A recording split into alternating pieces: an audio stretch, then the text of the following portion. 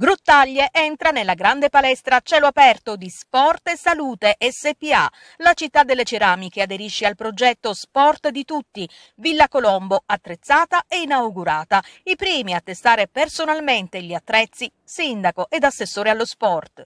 In tutto vogliamo sapere quante calorie avrà bruciato. Tantissime, tantissime. E il problema non sono le calorie, sono i dolori alle braccia domani mattina.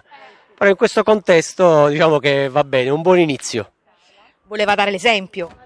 Ah, volevo condividere con i ragazzi questa bellissima attività, sì, dare l'esempio e magari a fare delle buone pratiche anche perché l'esempio di un giorno non serve, serve tutti i giorni, questo è a disposizione di tutti per potersi esercitare e insomma fare un po' di attività fisica. Uh, sicuramente un bellissimo spazio per lo sport libero, scusate il fiatone non sono più abituato, uh, però dà la possibilità veramente a tutti di praticare sport all'aria aperta, farlo in libertà. Il progetto Sport di tutti, parchi, ideato da Sport e Salute SPA, società dello Stato deputata alla promozione dello sport e dei sani stili di vita, vede anche la collaborazione di ANCI, Associazione Nazionale Comuni Italiani. Un progetto molto interessante e importante che soprattutto in Puglia sta mettendo radici, nel senso che a parte il comune di Grottaglie, anche a Manduri e a Carosino, per parlare della provincia ionica, ci sono state delle risposte significative.